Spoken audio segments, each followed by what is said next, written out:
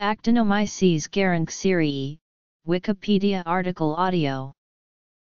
Actinomyces gerencseriae is a species in the genus Actinomyces once known as Actinomyces israelii serovar 2.